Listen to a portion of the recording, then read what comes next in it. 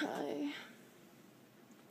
I just woke up and I realized I have I didn't post a video today.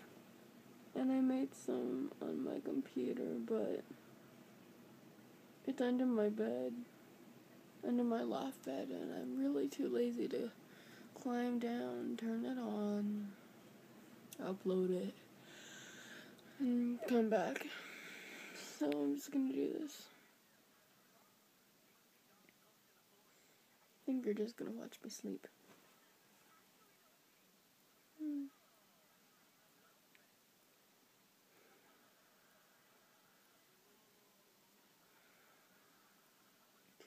Who else hates when you send a risky text and you're afraid what that what the person you're talking to is going to react? And um happened to me today and it was horrible. Um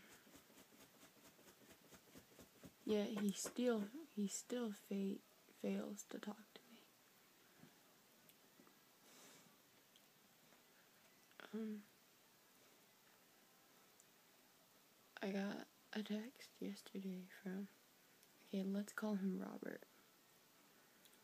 And he was telling me how I think I can quote like the first part. He was like No, I can't. I'm too tired. And it's like 12:30 in the morning. Eh. But he was telling me how much he really liked me even though we couldn't be even though he thought we wouldn't be together. And that other stuff that I really can't say like and then I told Megan about it and she told me to send him a text like you're a great guy, you like her, but you also like me. I wish you'd give us a chance, etc., etc., like that.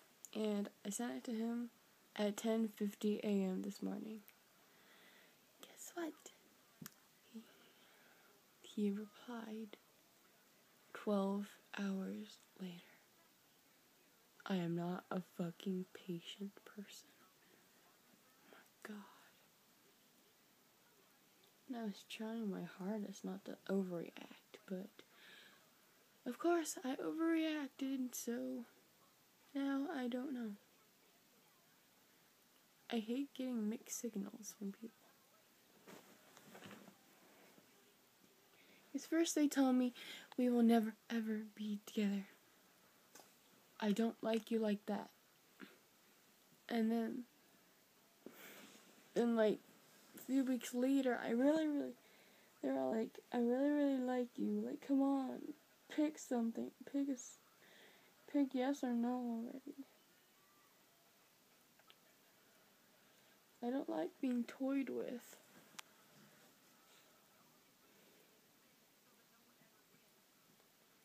Sigh. I'll tell you guys what happens tonight, tomorrow. Probably nothing, because I kept falling asleep. Yeah. Makes me feel horrible. Well.